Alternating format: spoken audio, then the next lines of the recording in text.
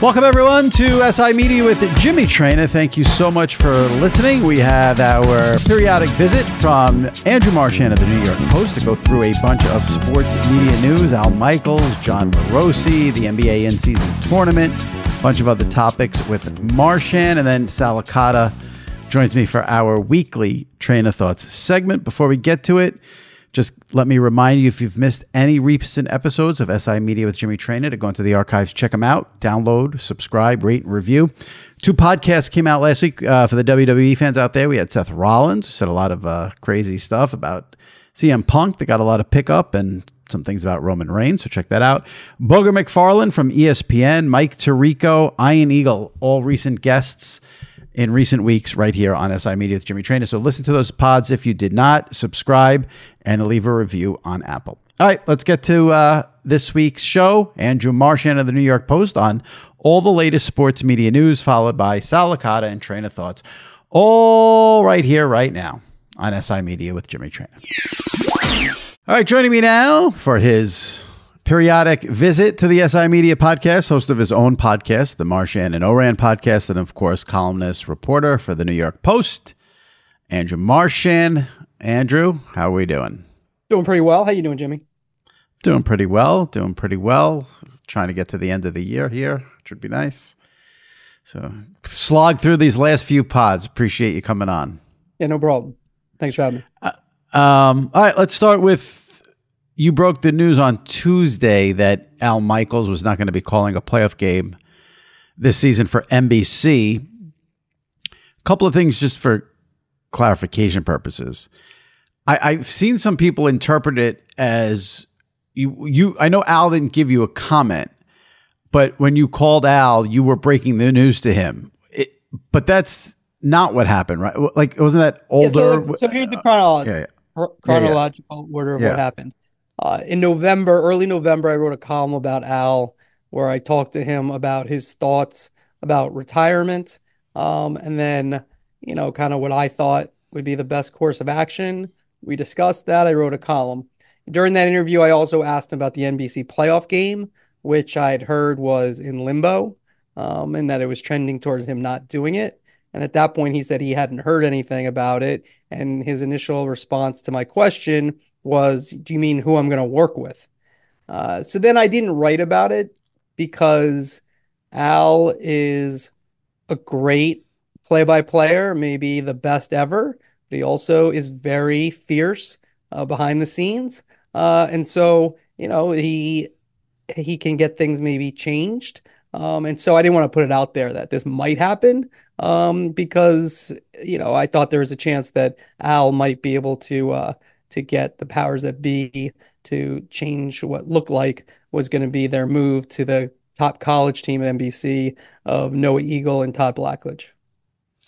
Okay, so why do you think NBC decided to not use Al this season? A couple of things. Number one, at the end of the relationship, the full time relationship between NBC and Al, it wasn't great. Um, you know, they you know, they liked, of course, Al Michaels' work, um, but they did bring in Mike Tirico a few years ago uh, to be the number one to succeed Bob Costas on the Olympics, and then Al Michaels on Sunday Night Football. Uh, and so uh, they, you know, there was a switch with the Super Bowl with CBS, so which meant that uh, Al was going to be one more year that Tirico was going to have to uh, wait, um, and they did that and uh, but Al was still very persistent uh, behind the scenes, you know, trying to still maintain his job as the number one uh, play-by player with his buddy Chris Collinsworth. Uh, and they moved on to Tirico. They announced this Emirates ro- role. I can't say Emirates. How do you say Emirates? I don't know. It's Emeritus. Emeritus. Emeritus. Yes, I say it wrong every time. Emeritus. It kind of the real word for it is bullshit. That's what it is. I mean. Well, that's where we're getting to. So they never. I remember asking Al, asking them like, "What does that mean?"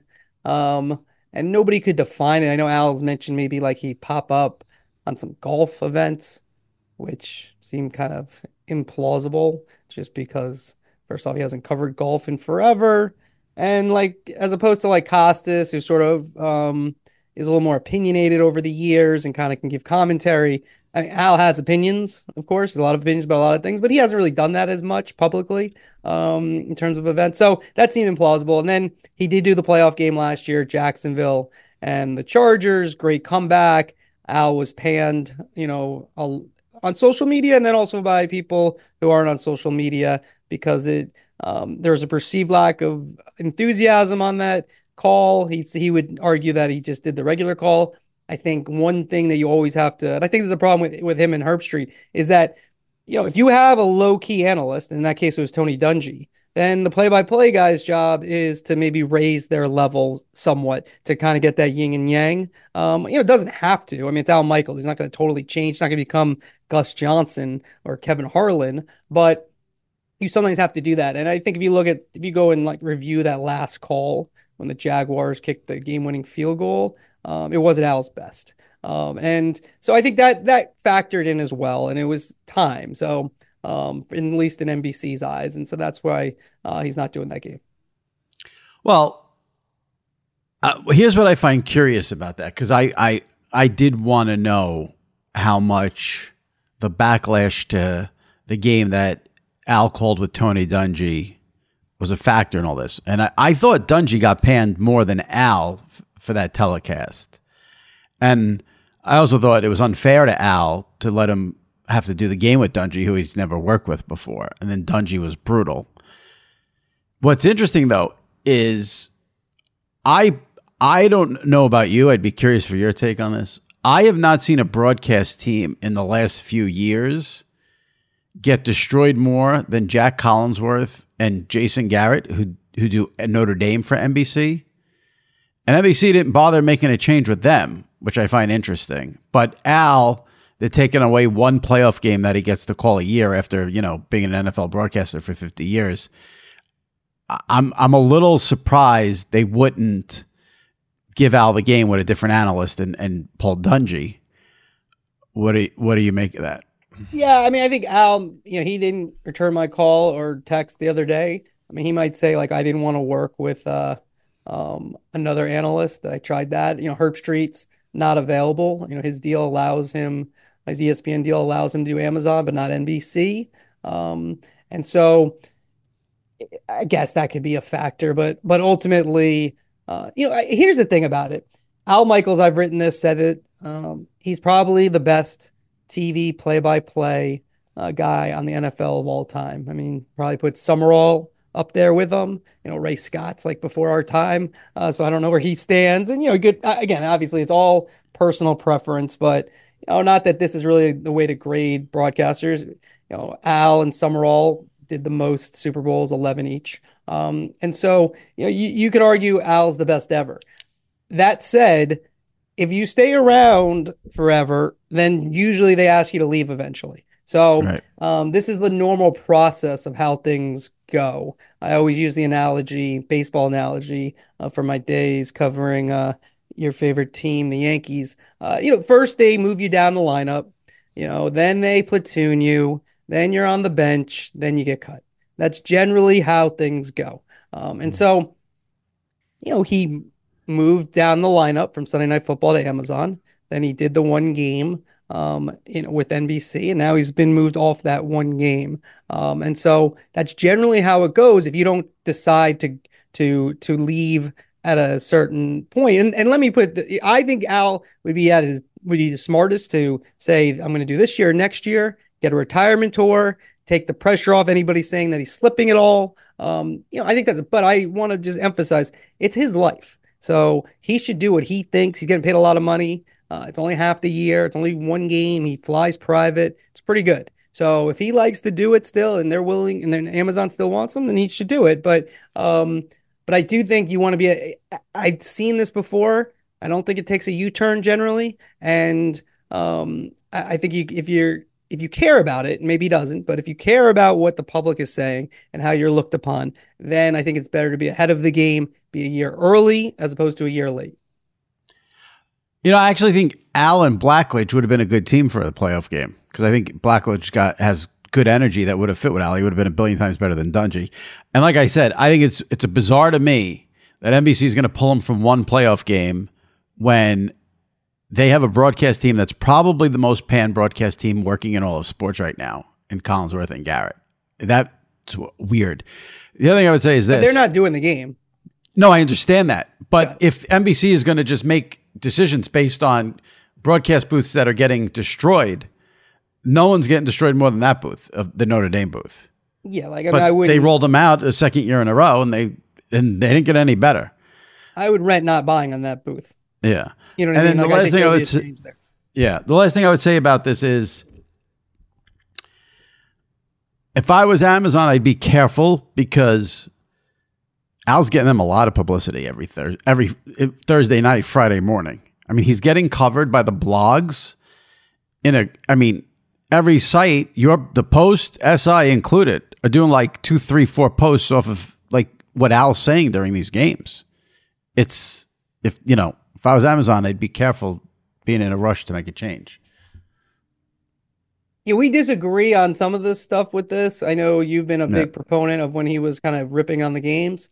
I think a little that a little bit of that is okay. He hasn't done as much this year, but I think a little bit of that is okay. I don't think really that's the job. You know, Al's been used to doing the number one game of the week for you know three, four decades.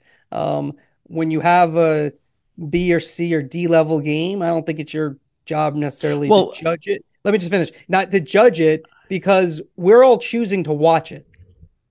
Right, but he's not going in saying, "Oh, this is a bad matchup. I'm going to rip it." It's when the game's six three with four minutes left in the third quarter, and there's been no offense, and the teams are embarrassing him, themselves. That he'll then say, "You know, this is a pig." Maybe, but I guess uh, I think there's a perception that Amazon's schedule is not good, and this year it's been much better, well, and the ratings so, been better.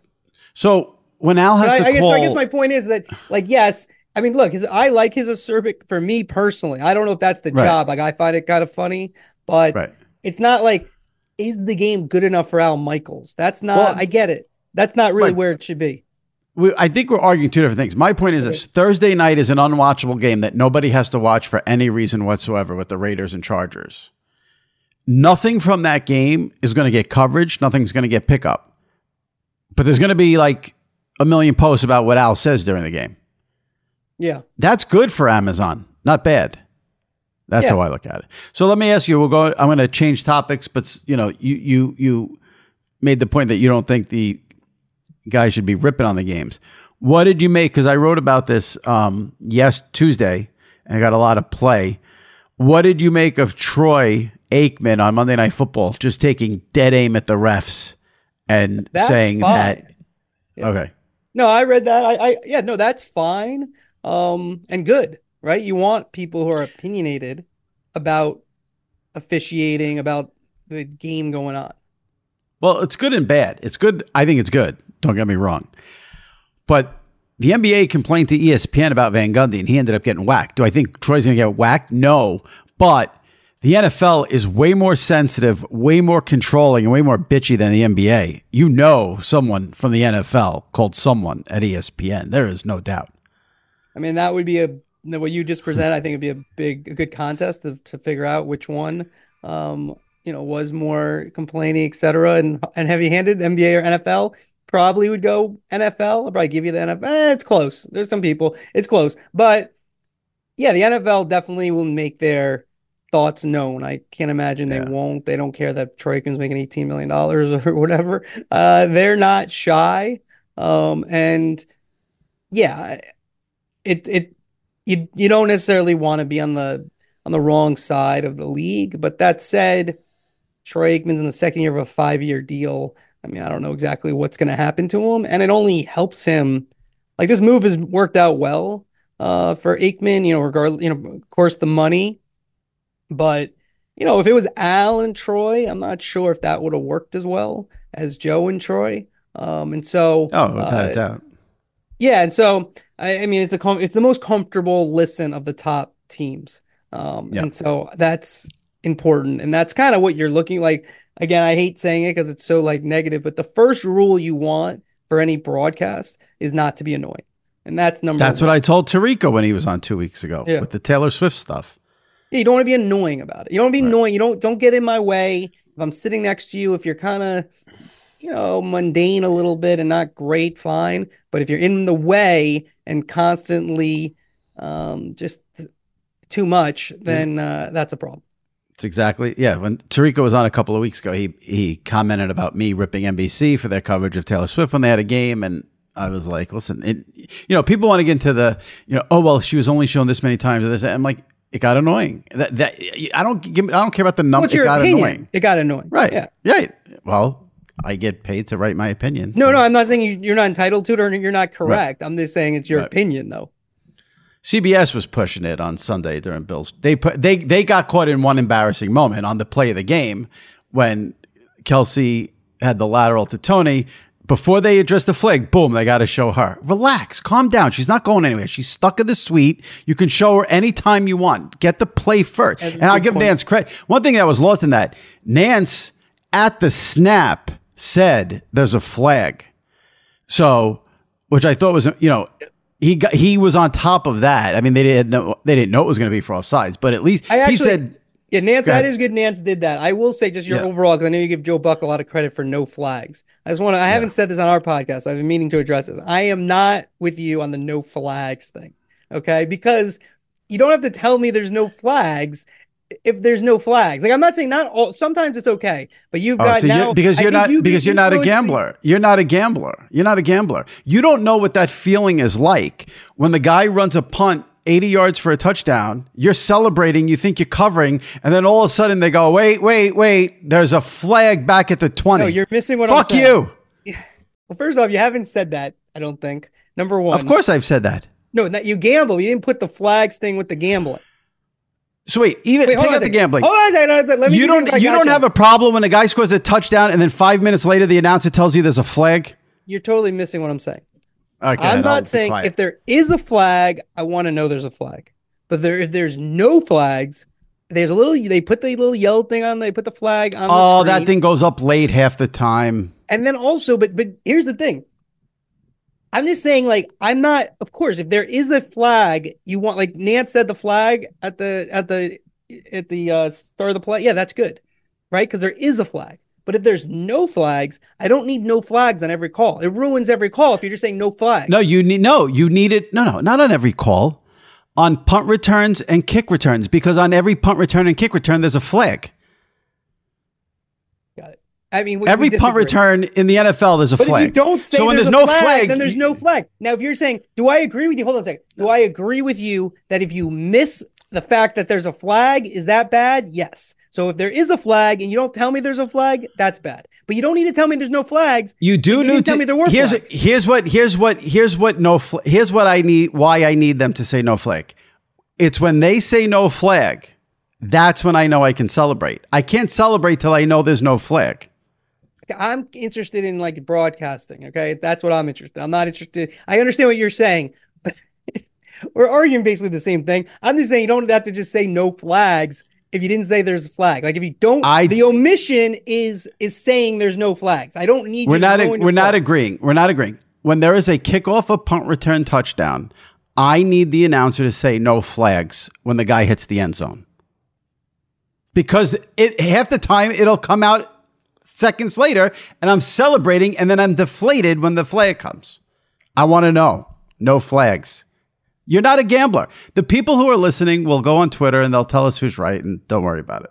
Well, but, it, that, but, but we're not just as long as you present it correctly. Let me just for my people. I'm not presenting it anyway. They could just listen to this. I'm not going to tweet it. They okay. just listen. I'm just saying it. that if you don't, if the announcer doesn't say there's a flag, then there's no flags. I don't need him to tell me there's no flags. They're hard to tell me. You're missing no the point. Do you know how many times there's a punt return touchdown, and there's no yellow thing, and then all of a sudden the announcer goes, "Oh wait, wait, there's a flag." Yeah.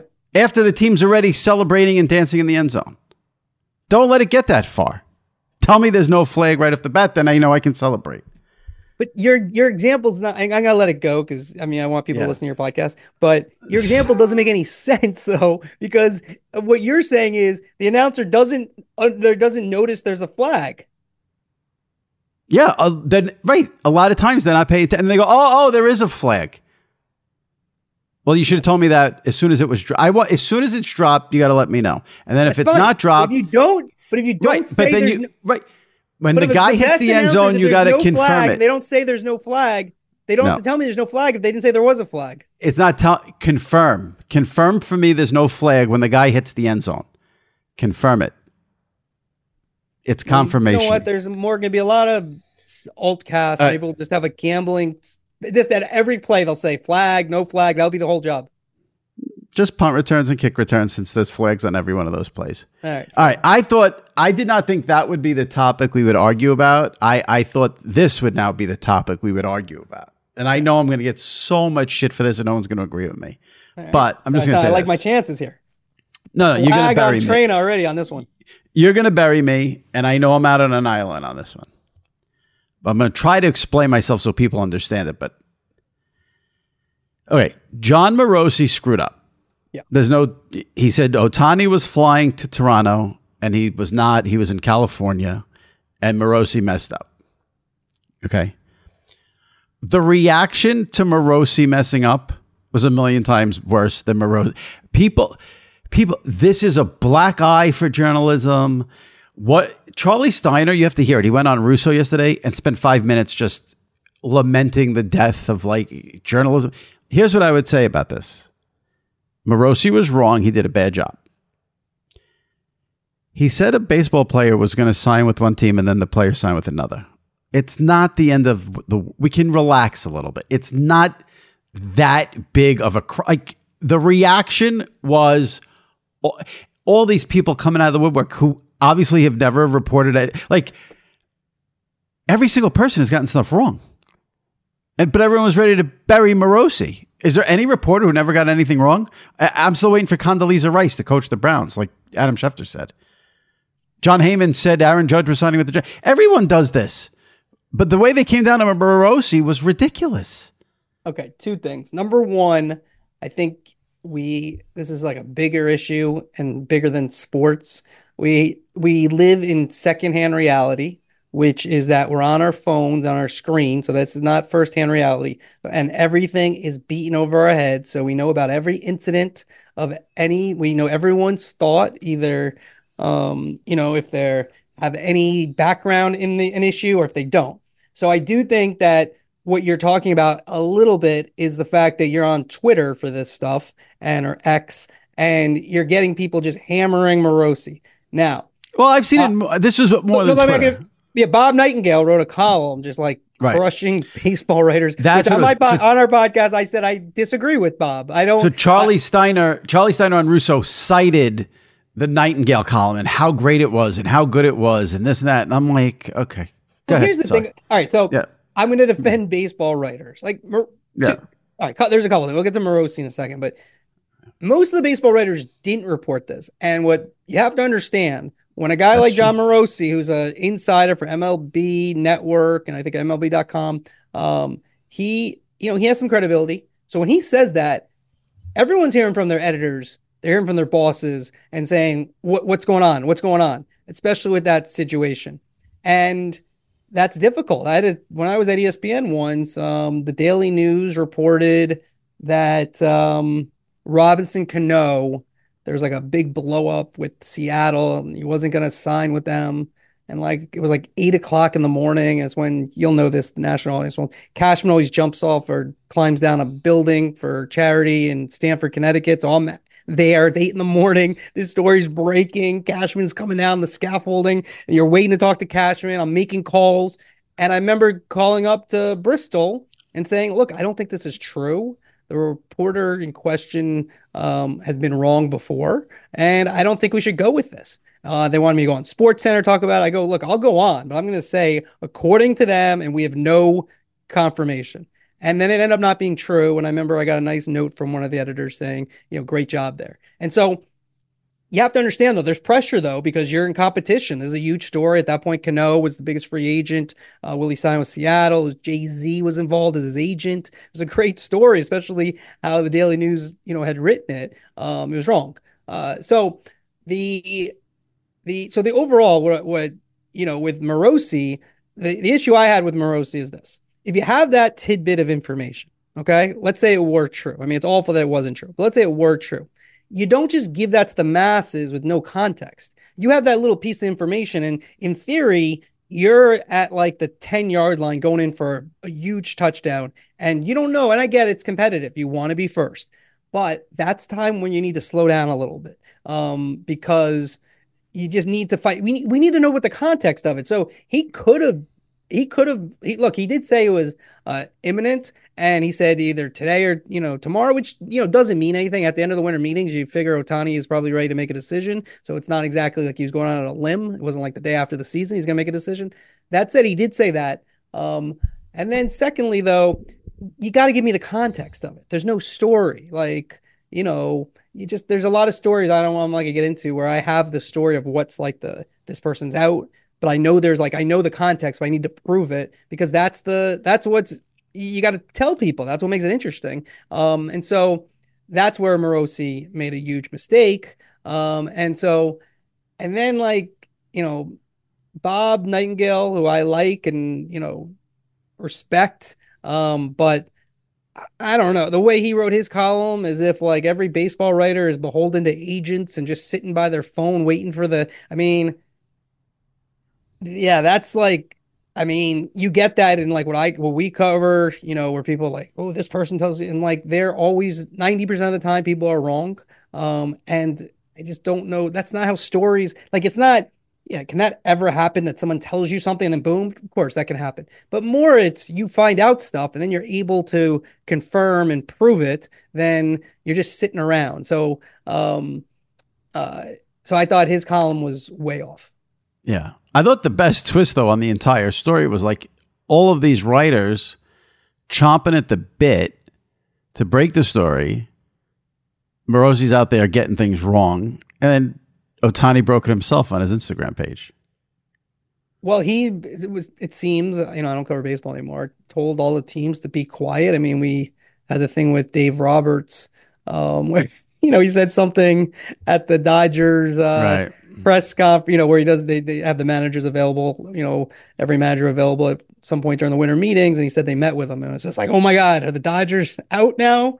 Uh, and so, uh, you know, obviously it seemed like a strict order from uh, Ohtani and his agents. Uh, so, uh, you know, that's why that happens. I mean, they can put a lid on things and look, here's the thing: the reason you have relationships with people so you can confirm things. And if Ohtani didn't want out there, no team, so that made it difficult. Um, eh, but so the answer to your first question though is kind of like the Charissa Thompson thing. I do think there's a re- secondhand reality where people start gonna, and also there's a feeling like when you're on X sometimes for people, I gotta chime in on this issue. Okay, and I do think like if you're again, we don't have to get into that topic, but when you're like sideline reporters, I can understand wanting to chime in on that because it's very personal for you. But you don't need to chime in on. We don't all need to chime in on everything. Like I'm trying to get off of X as much as possible, and also just like not chime in on stuff that is not really in my uh, wheelhouse. Like every once in a while, I got a tweet about to send it, and I'm like, why? Why am I going to tweet about the Yankees? I just think if you're a reporter going after Jon Morosi, you better have never gotten anything wrong before. Like what I, here's what I don't like about it. I guess I don't like when there's the implication from forget wackos on Twitter who are just fans. I'm talking about reporters. I don't like the implication that like Morosi made this up. Like Morosi was like, "Oh, I'm just going to say he's like yeah, he, got bad inform- he got yeah, bad, he got information. information. And, and that's happened to every reporter who does these stories. Uh, maybe not every, but what did you say? 80%, 90? I mean, everyone yeah, has gotten a story wrong. Yeah, well, eh, but the thing is, I think the problem with Twitter and X and how we like report things now, and we see it with bigger issues like war, is that journalism and, and getting stories correct, they're not always two seconds. So you can't like I get it. There's pressure yeah. to put things together in two seconds, like that Cano story I told you about. There is pressure to get this going because this is going to fuel the day, and it's going to be on Sports Center. And at that point, Colin Cowherd's on. Uh, I think I was on Spanning the Globe with him on that you know day. Um, and like so there is that. What the hell is spanning the globe? He used to do a thing at ten twenty every day where he uh oh. he like would go to different people. It, was not that. it was at ESPN. What, you never listened to? Did you ever listen to Cowherd? No. Okay. No. Well. Um. I mean, the, why why so upset? It was, a, it was a segment called "Spanning the Globe." I don't understand. Yeah, I didn't know what it, I didn't know what you were. I thought it was a show when you said it. I didn't oh, know no, it was no, a segment. It's like a ten twenties that go around and go to different cities. I was like, I never heard of that show before, but okay, yeah, yeah. That, that's it. Yeah. Um, Yeah, and, and my old and again, at the end of the day, when all was said and done, like a guy said a guy was going to sign with one team and he signed with another. Well, we'll live. If we'll you're, I get it. I could see a fan being upset. And the other thing is, all we have as reporters is our reputation. So yeah, you're you're right. right you know, um, people make mistakes, but it, you know, it hurts Morosi's reputation. It's the I biggest agree. free agent maybe in the history of baseball. And you got to agree with that element wrong. Where and here's the problem for me, like forgetting that it's wrong is this: you're putting this, you're putting out that he's going. Let's say he was on the plane. Maybe he was going on the plane. Supposedly he'd gone to the Dunedin to see the Blue Jays uh, spring training home. Maybe he went to go look at Toronto again. I mean, there's a many reasons if he were actually on that plane, besides that he's just signing there, that he was going to Toronto. Um, right. And so that's the thing you need to find out um, about. Got you can't it. just tell us he's flying someplace. I mean, that can mean anything. Yeah. I get it. You want uh, that story, but yeah, I, I thought Morosi deserved blame. Okay. Let me hear you a couple other things here. McAfee, I, I, he made a thing like he might leave game day. Then he said he wasn't leaving game day. He was never going to leave game day, right? I mean, he leaves most of his deals early, so I mean, it's not like out of the question that he might leave game day early. Um, but I mean, I thought the more interesting one was Herbstreit saying that if McAfee leaves, he's going to leave. Right. I that like was this. I was going to go. Yeah, I think that was. I think that was. um Well, let's Kirk hold. All good, right, we'll, good we'll radio. That, we'll, we'll write that one down if McAfee yeah. leaves next year, if Kirk's going to fo- follow him um, around, or maybe I got a feeling he'll uh, stay. Yeah, I think Kirk was just trying to be nice. Yeah. So uh, uh, yeah, I don't know. McAfee McAfee does what he wants, um, and and he's very cognizant of what everyone says and writes about him. Very interested in that. That's why he loves you. Well, I don't. I mean, I just think why would he leave after two seasons? The ratings are good, despite you know Fox playing their games there with like 12, 15 and trying to say they won when they really didn't and all that. Like the ratings for game day are still great. Like there's no reason for McAfee to leave. I mean, it's a lot. I mean, that's the only yeah. thing I would say. He's, you know, well, five days a week. You're doing a talk show, and then you're traveling on true. Fridays that's to do true. show there. Yeah. And then, I mean, he flies, I think, private everywhere, but he, uh, it's a lot. I mean, and then you got to yeah, watch the NFL games. I'm not saying like look, I always get, I always say like nobody cares about these sportscasters or sports personalities schedule. I mean, they're talking about. No, he works hard. I mean, that he guy works, hard. hard. Yeah, he works hard. He works hard. You, yeah. he works hard for yeah, sure. Yeah. I, and that's the thing with Herbstreit. I mean, if anything, Herbstreit should give up the game that he's doing on Saturday. Like Herbstreit should never leave college game day. Kirk Herbstreit should never leave college game day. He's better off not doing the Saturday night game with Fowler and staying on game day. I mean, most people like doing the games better. Right. Well, he, I'm saying keep the Thursday night. Am- I mean, Kirk forget like I think forget take out work hard. Herbstreit's schedule is ridiculous. You can't keep that up for like a five, six, seven, eight, nine, ten years. I mean, it is hard. I again, I mean, because they make him fly from game day. Well, like that's yeah, that's Alabama. what I think he does. That's what I'm yeah. talking about. That yeah. one's yeah, that one's crazy. Like I wouldn't personally. I don't know how great it is to be on a right. plane that much in that short. That's that's my point. Is when he's that's doing game day in Alabama and he's got to fly to USC for that game at eight o'clock, and then like, what's the point? Like, give it up already. Well, have him on and tell him. I don't yeah. have to tell you. I will.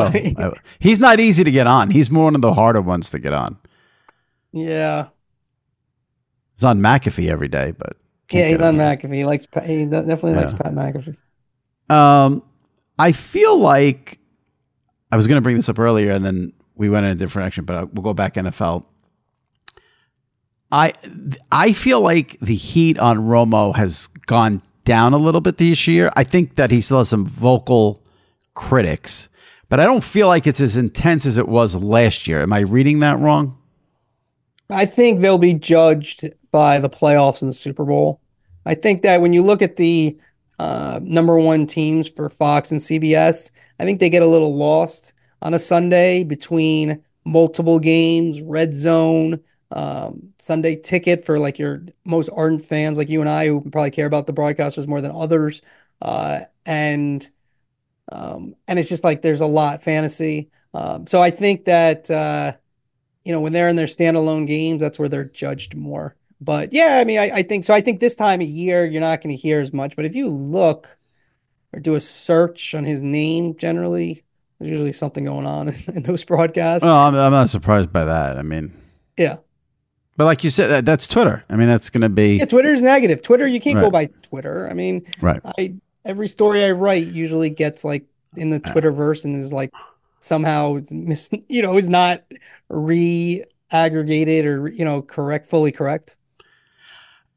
The I know the NBA, their whole thing right now is you know they're going to get new rights deals and you know who know Apple, Amazon, NBC, all that stuff. And I know the in season tournament final with the Lakers did a huge rating for a regular season game. But I find it weird they're trying to spin the whole tournament as this big success because instead of like a million viewers for a Tuesday game, they got like 2 million viewers for a Tuesday game. And then it's like, oh, this thing's a success. Everyone's watching it. It didn't seem like anybody cared about this. I know the final did 5 million with the Lakers, but everything before the final like I know the ratings are up like a tick, but like Apple's going to pay a billion dollars to get the in-season tournament because they're going to get 2 million viewers instead of 1 million. For, like how did you overall view the in-season tournament as a rating success or not success? Well, ratings. I mean, well, first, all, I think your numbers are a little high on where you're going from one to two. I think that would be actually right. really good if it was if yeah. it was that. I think it was more like one to one point five, maybe. Uh, yeah, uh, maybe a little bit higher. Maybe a little bit higher, but uh, I thought I think it's a success. I'll tell you why. Why? Yeah, tell me okay. why. Number one is that everyone wants like this to be the NBA Finals the first year. It's not going to be the NBA Finals the first year. These things grow in importance. So it's not like you, you start out and you start something new and everyone's going to be like, wow, this is the greatest thing ever. Do I think they infused a little life in the early part of the season? I do. Um, I think based the, on the, what? I think those games are interesting. Oh, okay. Okay, and I think they were playing for something on that Saturday night. Um, I think, I think, I think there's probably. Are you're not a soccer guy, right? No. So I think there are people who like soccer, and Adam Silver's talked about this a number of times because they they took the idea from soccer. These this is very normal in soccer. Now, the way their system works, these tournaments work even better for what they do because there's no playoffs. Um, you know, in uh in their regular seasons for each league. And so that makes it so like there's 40 games and makes every regular season game like a playoff game. Um, because you only have 40 games, kind of like college football. So it's a better system um, in that regard, but no playoffs um, for like Premier League. Uh, they have Champions League that you qualify for, which is more of a tournament, which is like kind of like uh, how the in-season tournament is. But then they have a, a, bunch of competitions, and they're important in their own ways. Um, but they're not there there's levels of importance. So will this level be like the finals the nba finals or the nba playoffs? No but does it um, give you something to look forward to? Do the players care more about it? Did you not have guys sitting out? I think the issue that they run into now you're saying it's not a success. I'm going to say it is a success but here's the flip side Here, well no, no. If i say it's a success someone's going to go oh they got 1.5 instead of 1 oh who cares about yeah i mean but I'm saying but success. Nobody cared. Nobody cared about the NC. There was no buzz for the Saturday night. I got it. It was the Lakers. They got that's the other thing. They got very lucky. They they got the Lakers in there. Yeah, that was for good. the final. That was good. That was, um, that was, like David Stern style. Get that going. They got very yeah that, yeah. I don't know that worked out for them very well, but like little uh, freezer on the. There, was, wasn't anyone being like, I got to get Patrick Ewing uh, envelope. I'm glad for that. Patrick's my all-time favorite NBA player. Um, that's a no joke. one was saying like I got to get home Tuesday night to watch the in-season tournament. Like there was no buzz for that. But it's the first year. Do you think there's buzz for the WBC? No. Oh God, no. Okay, but no. if you went to other countries, maybe not domestically. I'm not other, in other countries. I'm here. Nobody cares. But, but it matters though. Not here. It didn't matter as much here, but it, right. but as you go on and as they kind of if they ever were like change the system, maybe in spring training you have the play in rounds and then you made the final four at the All-Star break. It, it it's it's I, here's the thing. I'm never going to see that side of it as long as you have an NBA finals and a World Series. I don't understand why I'm supposed to care about anything else. Yeah, I mean, again, this is like the divide that if you were like a soccer person, you would understand this, but you're so, not. Oh no, okay, but okay, but let's put this in baseball since I'm a diehard Yankee fan. Yeah. It would be impossible for me to give two shits less if the Yankees won an in-season tournament. I care about one thing and one thing only: win the World Series. We know that's not happening as long as Brian Cashman's around, but that's a whole other story. Uh, why would I care? I don't understand. If I'm a Yankee fan, we want to win the World Series. Why would I care about an in-season? Tour? I just don't understand why I would care. This is like so. Let's say Jimmy Traina was eight years old, right? Oh, right? with the hypotheticals, I got to be in another country. I got to be eight years old. What else do I have to do to care about this? Because you're not the how only about, person. We got to say no flags because you got to bet on the Steelers. I mean, that's correct. like how it works. Well, no, but but but every gambler is going to agree with me. The non-gamblers will agree with you. The gamblers will agree with me. Okay, well, the gamblers could probably figure out if they don't say there's a flag. There's no flag. Here's the thing, though. You're eight years old. You're watching. They can't get you to watch games. You're on TikTok, and you're getting all your misinformation, everything on TikTok, and you're that's where you watch, and you get all your highlights. You sit down for a game on a Saturday, eight o'clock, and you're a Laker or a Pacer fan. They play the Pacers. Um, yeah. The and you're into it. You do that for the next 15 years. Now you're 23. You're into the in-season tournament. Like you want it to be, you're like Ourand. He's the same way. He wants everything, boom, right away to be like perfect. You, they're growing it. Uh, well, now I, I, didn't know that. So now, if Ourand agrees with me, it's two against one. We win. And you, not on this. No, he's like because here's why. Other- because when the eight year old, when the eight year old develops a brain, the eight year old is going to say to him or herself, "Oh wait, there's an NBA Finals. Why do I give a shit about an in season tournament? This is what matters." That's what an eight year old's no, going to say when they when no, they get a br- I, I some brain development. Argue that the NBA Finals is that the in season tournament's more important than the NBA Finals. Nobody is arguing that. It's year one, but that it brings it infuses something else into the regular season is a good thing. The problem is now inf- you go back to the regular season, it makes the regular season, this the regular regular season, even more like an exhibition. It infused things for one night. One night. Yeah. I mean, I think the group the playing look i'm not a like i i'm a huge basketball guy but regular season you know i put it on i can't like i'm not sitting there every night for you know basket you know fourth quarter get in there in and out i like to look you know i honestly look at it from the broadcasting side a lot let me take it let me listen to this person for a little bit but that was i mean like, and how about the desperation of the NBA to make TNT and ESPN do crossover stuff? Oh my God! They don't do that for the NBA Finals. They're going to do that. They they won't let they won't let Dick Vitale call a tournament game on CBS. But let's cross over MB, ESPN and TNT for the in season tournament that nobody Here's a good cares one, about. The one like like the studio oh. stuff I thought was good. The game stuff I didn't really understand. Like I, Doc Rivers has done yeah. four games for ABC. Yeah. Now he's doing a game for Turner. Nobody, you think the average person knows that he's on ABC or ESPN? Yeah, because so that didn't make any sense. If I was TNT and they want they, they wanted to cross over, I'd be like, why? We're a million times better than your show. No, no, why would we say, cross over? I actually you? was going to put that in my newsletter on Monday, and then I didn't. But uh, uh, All right, so we have an agreement it, it, there. It lifted up ESPN's pregame more than it that for sure. It made them seem course. really helpful for ESPN's pregame. Um, of course, and so that was good to, to be associated with Barkley and company.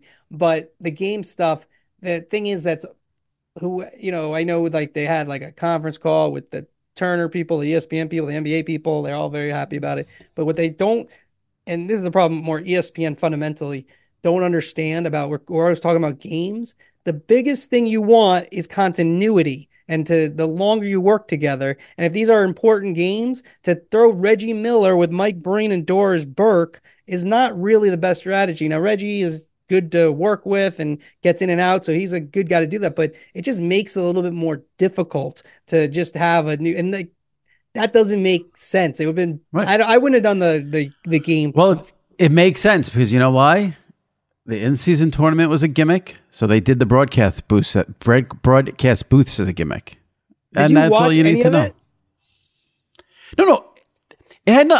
I would watch a game and they'd be like, "This is an in-season tour." I'm like, the court would be different. I didn't know what's going. Like, I didn't. It took me like two weeks to figure out that they did them on Tuesdays and Fridays. Like, I didn't know what. Next year you'll be all when it first when it first started. I'm talking about, and then no, know, Saturday next year night, you'll be. But then year two, you see, this is like again, like I try to tell Ourand this, Ourand this.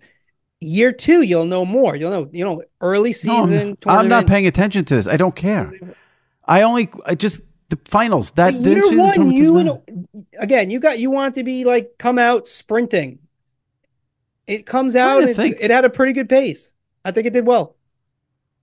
I think it was something to what? build on. I think it was a smart idea. They need to juice up the regular season. They need more spectacle. And what they really hmm. need to do is But you said down- it yourself before. They juiced it from 1 million to 1 point. So you think next year for the in-season tournament, those early games they'll do better than 1.5 million?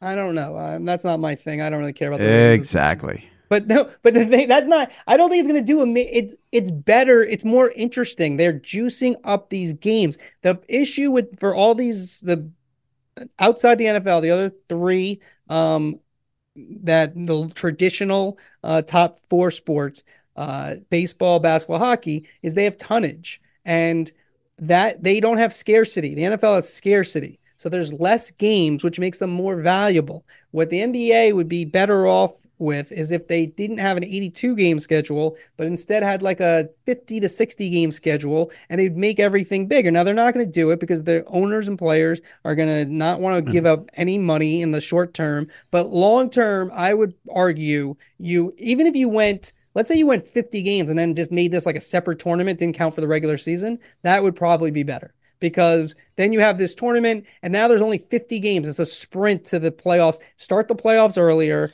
make it so they don't take 18 months to play the playoffs because there's another issue that just they take way too long and the games are there's too much. I get it. They want to be on certain nights for TV. There's it's way too spread out for like an average fan to Here's what they should have done. If they would have here's here's what would have made me pay attention or what could I if you win the in-season tournament, you should be guaranteed a playoff berth. No matter yeah, what like your record that. is. Then I would pay attention. Then there's something on the line. Here's the point. What were these people playing for? Cash, right? Yeah, got half a million each. Right. So why do I care about that? That doesn't. Yeah, well, maybe they'll do that. Maybe if you're a fan of a team, you want your said. team to. Right. I think I like the so, wait, so if I'm a Laker fan, if I'm a Laker fan, I'm over there fist pumping and getting all excited because Austin Reaves got half a million dollars. What? Who? Why LeBron, would I give a shit? LeBron needs that money. He needs that half. No. I hope LeBron would give that money away, but who knows? Maybe he did. But like that's what I'm saying. What's the incentive? I don't get. That's what I don't get. But I don't. want We've argued way too much on this podcast. Yeah, it's been a big way argument podcast. What do we? Anything we agree on? Was give me a uh, topic. What could we agree on? I didn't sleep well last night, so cranky. So like, you got me a cranky. But probably, I think we, probably that's good for uh, us. What I'm trying to think. Is there, topic, is there a topic we can agree on? I'll say this: what is the point in Thursday night football having flex when you need 28 days notice? Can we maybe knock it down to 14 days so we're not stuck with Raiders Chargers? I mean, it's honestly that one's a ridiculous flex. You can't people who are traveling for those games. I know they nobody cares, and you'll probably argue you don't care about people traveling to a game. I don't. But to go from Sunday to Thursday is crazy. Come on. Then, then, then say there's no flex for Thursday. Like, well, they, they I would say this: they didn't do it. How are they ever going to flex a game if they need 28 days? Notice? Well, you get a you get a year where, let's say the Jets their late season game and Aaron Rodgers gets hurt and they end up they're two and ten, and you are 28 days out and you could do it.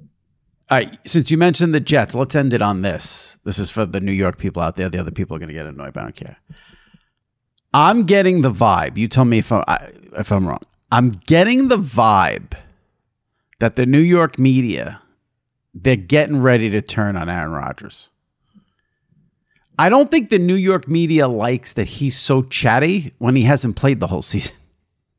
Uh, I actually do want to talk to you about something else though. I got it because I want you to. Yeah, have yeah. you done your segment with Sal yet? No, not yet. Okay, so I got time for you. Um, okay. I don't know about that. I don't know. You're okay. So I disagree. Okay, that's fine. Okay, um, that's fine. Tommy DeVito of the Giants. Yeah. Now Canton is he? How many Hall of Fames are we putting him in? Like I want yesterday. This is we're doing this on. We're taping here on Wednesday. On Tuesday, right. I right. listened to a good amount of FAN, or maybe even Monday. Maybe it was Monday.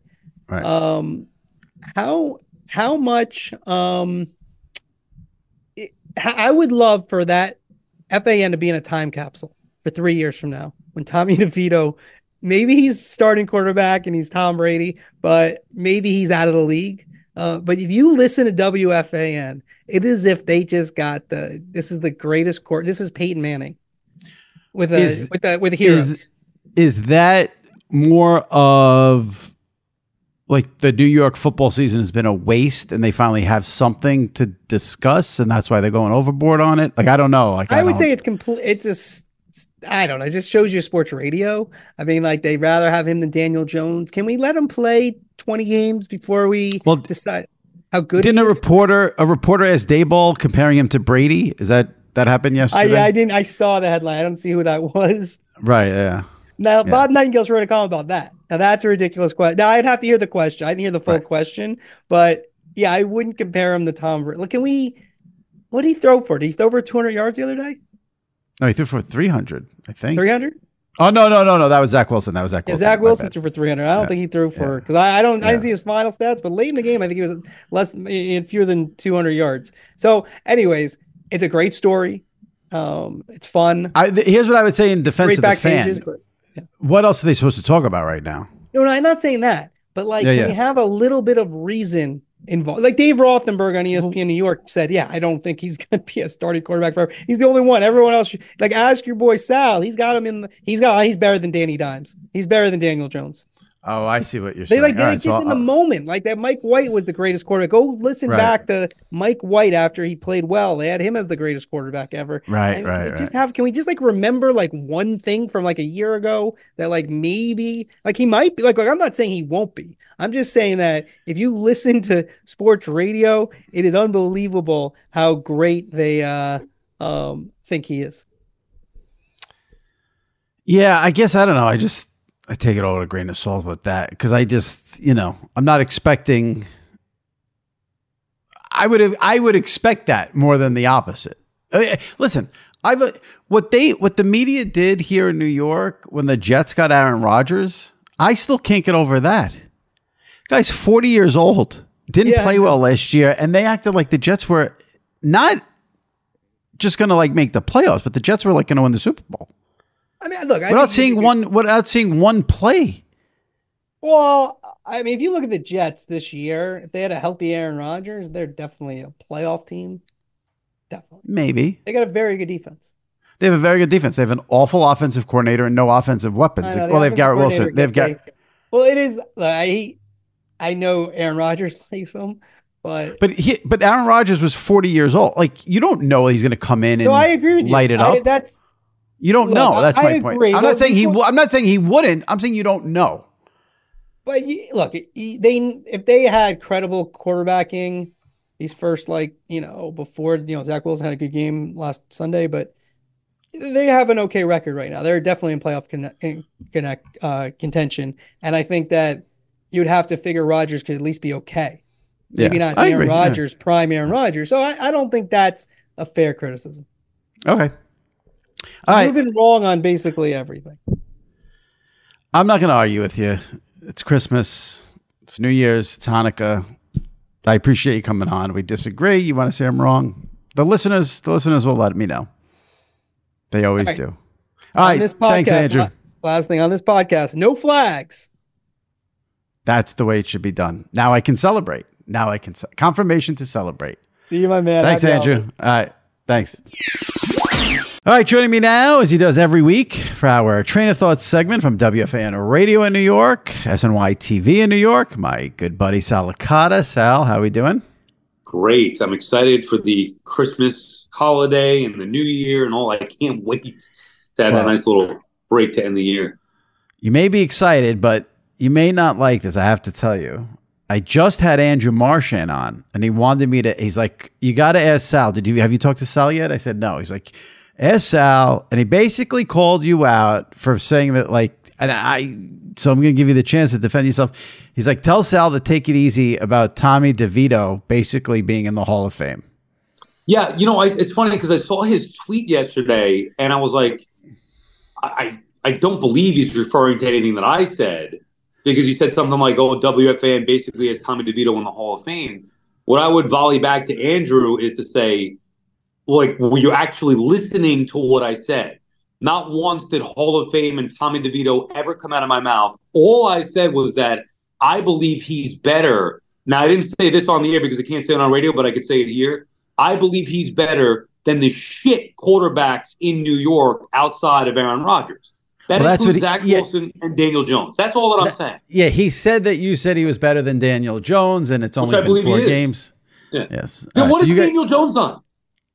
Like it's been five years of up and down. Last year, in a year where he took his team to the playoffs and won a playoff game, he threw 15 touchdowns. 15 touchdowns for an NFL quarterback in the 2023 or 2022, whatever year. That's like that's an embarrassment.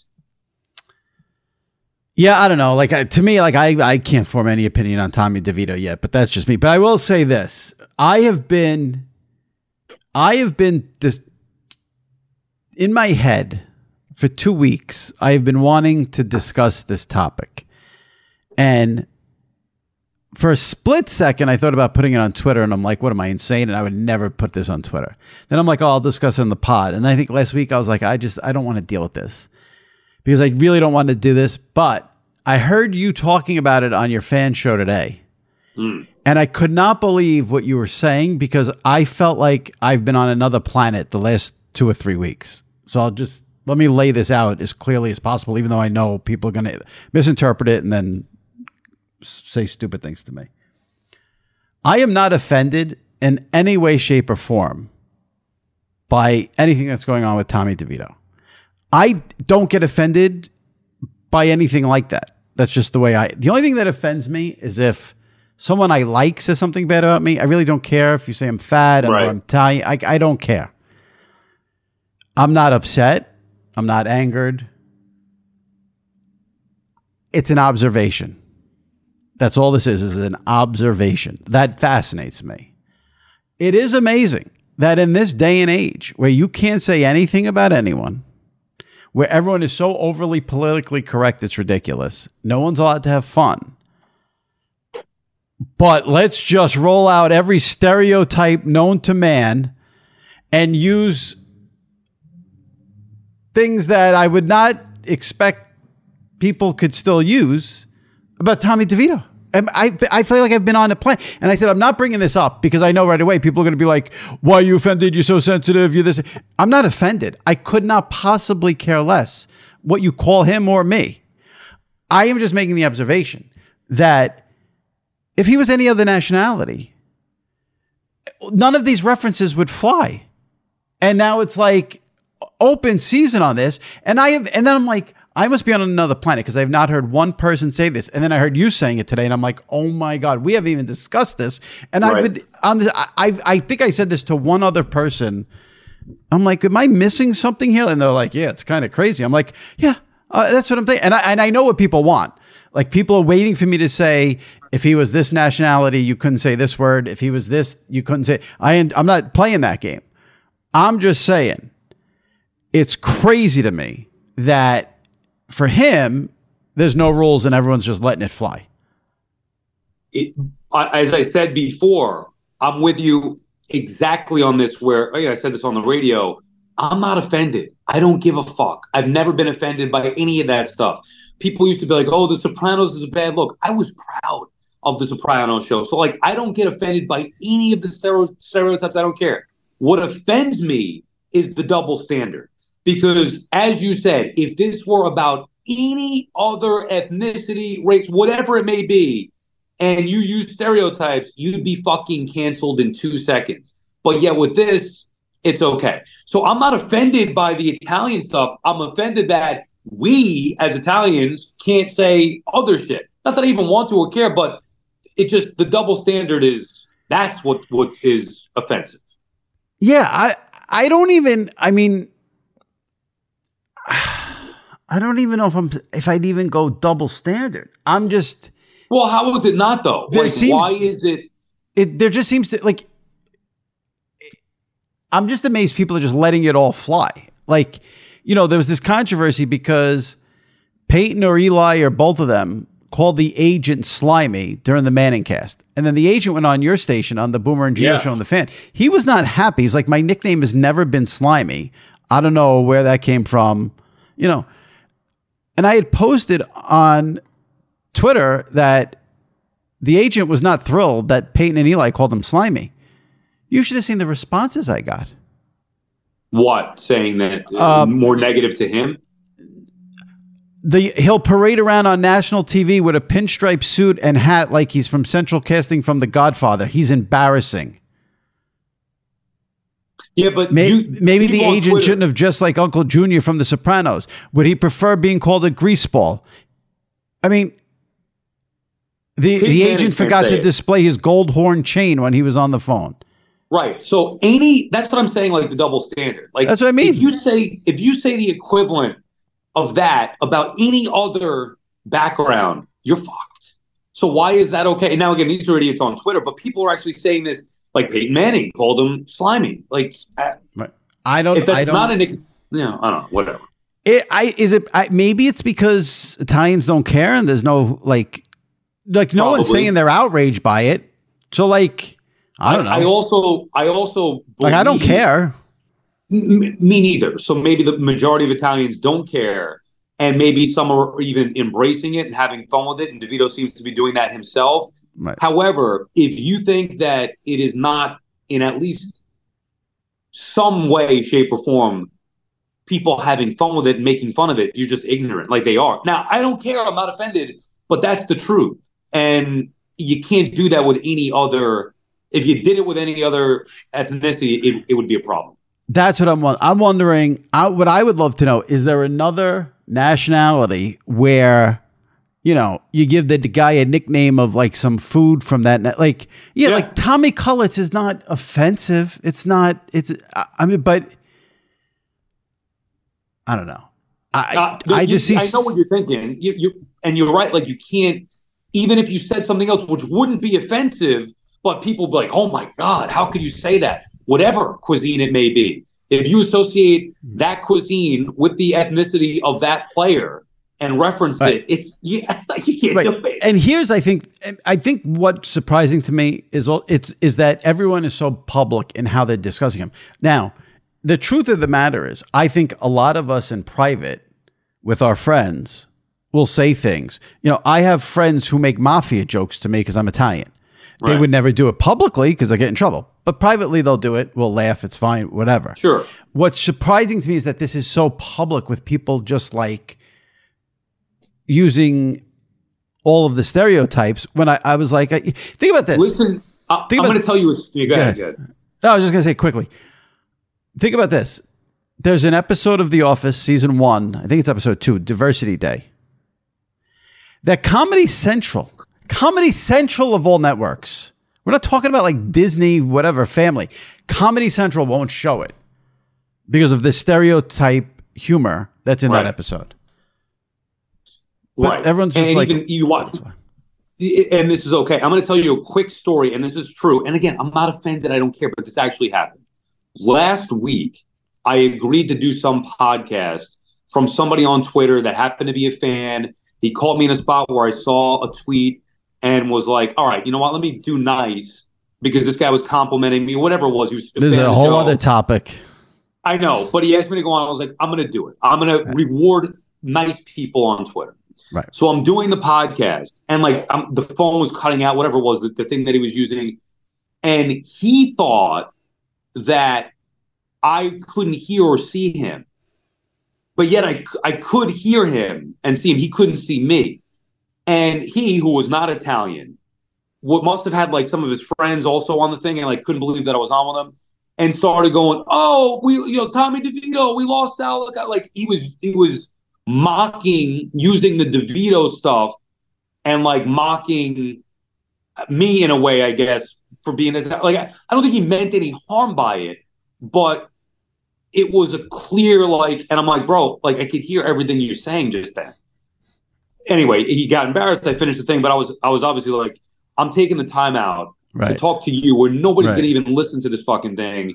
I got no time to begin with. I'm not even calling my wife, and I'm doing this for you.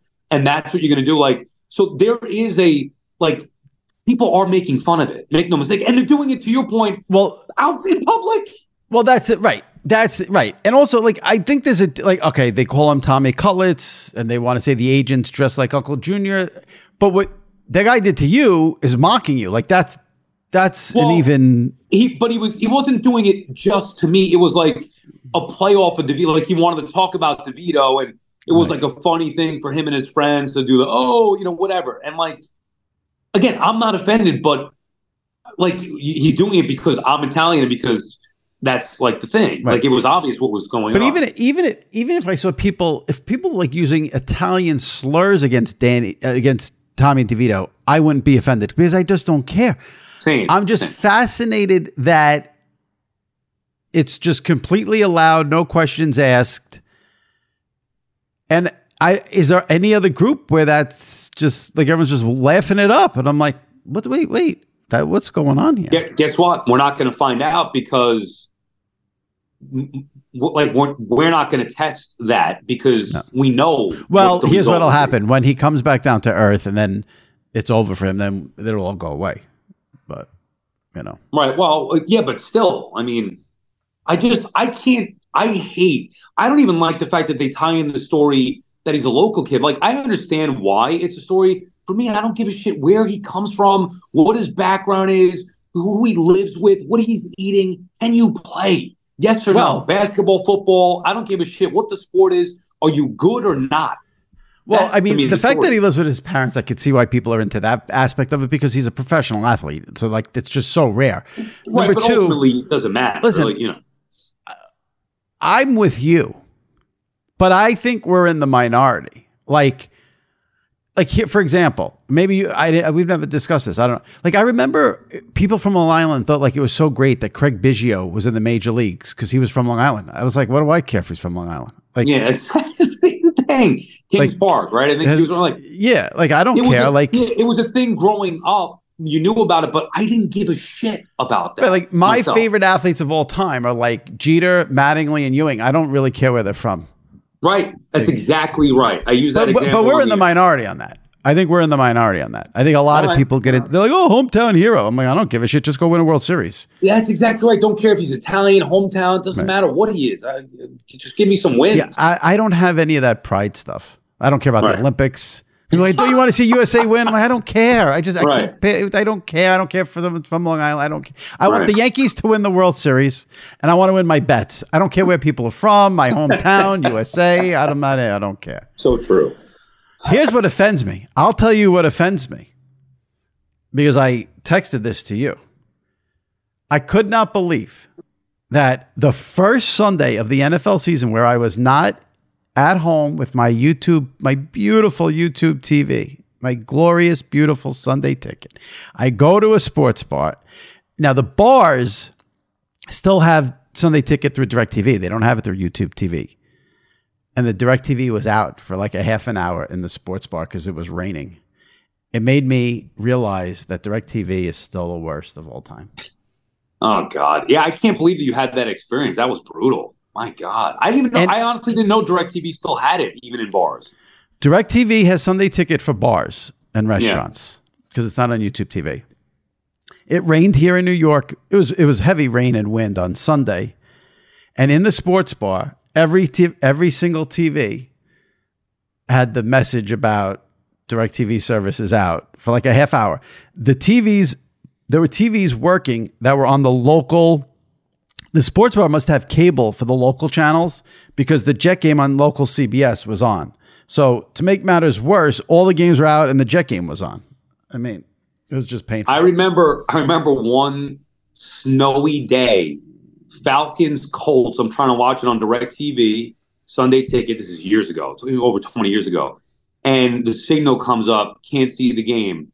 I was outside trying to get, I used a broom to try to wipe off. I'm on like some chair with a broom and half my jacket on, trying to wipe the fucking snow off the dish so I could watch the game. I, I, I mean, I don't know how I ha- I had DirecTV for 20 years only because of Sunday Ticket. All I have to say is God bless Verizon Fios. God bless them. I've had the, the Verizon Fios has never gone out for one split second since I've had them the, the last four years. No, the only time the only time we had an issue was when you came over my house this year. Well, that was that was YouTube. You got off. Yeah, that's what I'm saying. Yeah, with yeah. the new. All oh, right, right. No files, but the YouTube stuff. Even that has been. I can't believe how on point their streaming has been for the most part. I'd say 99% of the year. Yeah. Um, what's going on with the house? Oh God, I, I can't, I can't even. What was the, what's the last thing that the last know? thing was you saw one or you saw two and you put in a bid maybe, or you yes. wait to hear back. All right. You, you ready for this? No. No, it's really it is like actually pathetic. So we put in an offer. We saw two houses on football Sunday. Drove there specifically to see these two. Drove back to host some friends. Put in an offer. The offer was accepted. Finally, an offer that is accepted. So now what happens is it goes into attorney review. We send the offer, they accept it. Now it's an attorney review. One day goes by, two days go by, and I'm like, what's going on here? Like, isn't this supposed to be a quick thing? Because it's like when the, it's like when the refs are reviewing a play in the for yeah. instant replay. Right. Troy Aikman's right. We the guy, the lawyers are under the tent. The lawyers yeah, are under right. the tent. Yeah. I'm, now I'm talking to our real estate agent who's talking to their real estate agent, our lawyer saying he the, there's a holdup because the seller's lawyer is in court all day because he does some other shit. I don't know, whatever it is, Probably whatever it is that he does. So he can't respond. So five days go by and something that should have been done in two days max takes five days to go by. They send back an offer which basically says the sale is contingent on the sellers finding a new house. And it was so obvious that it was wrong that even I could see. I didn't even need my lawyer to see it. I was like, what is this?